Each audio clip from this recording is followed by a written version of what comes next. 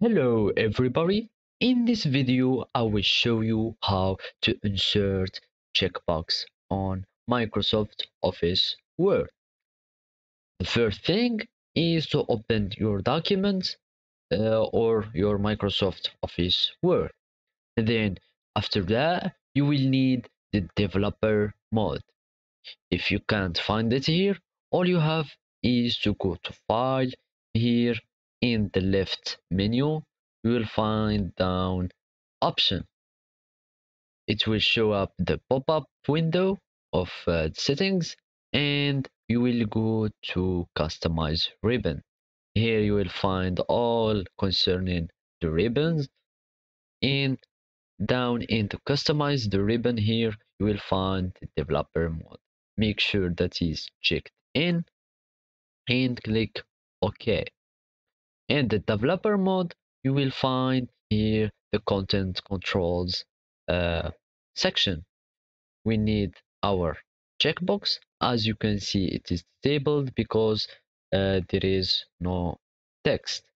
Uh, let's just do some text here.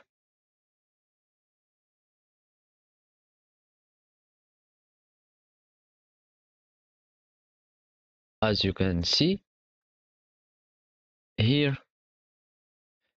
Uh, as you can see there is a message of the uh, compatibility mode. If this occurs with you all you have is to go to file and then to info and click on the compatibility mode and click ok. As you can see it has been enabled again. We are going to click on the checkbox you can just copy and paste it so uh, with the control C control V so you don't waste your time. Like this.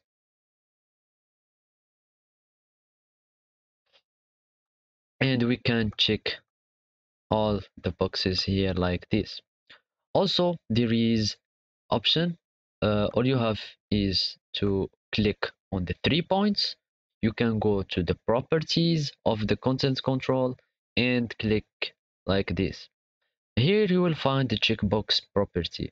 You can change uh, change the style of uh, and symbol of your uh, and do whatever you want.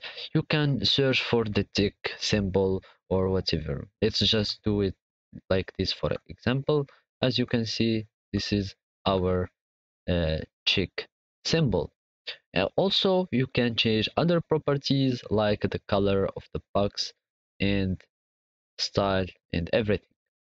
If i click ok uh, as you can see the outside box has been changed color.